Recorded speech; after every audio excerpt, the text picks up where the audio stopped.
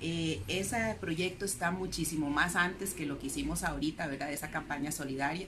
Eh, la idea es capacitar a jóvenes de bajos recursos que definitivamente no tienen para pagar un curso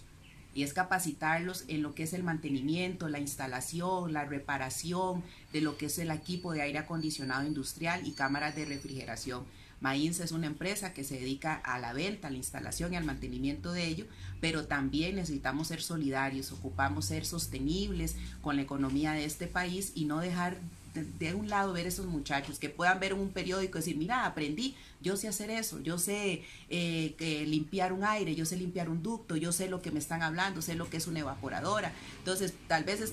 les alcanzó para comprar el periódico La Extra, pero ahí tienen que, ver cómo salir adelante, ¿verdad? Y, tener esa capacitación. No los podemos certificar, no, les, no somos el INA, no somos un colegio técnico, pero sí tenemos la voluntad de capacitarlos, de ayudarles para que puedan salir adelante, para que puedan saber instalar un aire, eh, repararlo, limpiarlo, saber qué es. Y como somos una empresa que nos dedicamos a eso, es lo que podemos dar podemos dar esa capacitación, o sea, estamos ofreciendo algo que podemos dar y es completamente gratis, no va a ser nada de que venga, este, va a pagar mil colones por la cap, no, es gratuito, estamos haciendo toda la logística para que esto salga lo más pronto posible y poder, digamos, tener un determinado grupo de muchachos en los que los podamos ayudar y así sucesivamente. Y ojalá también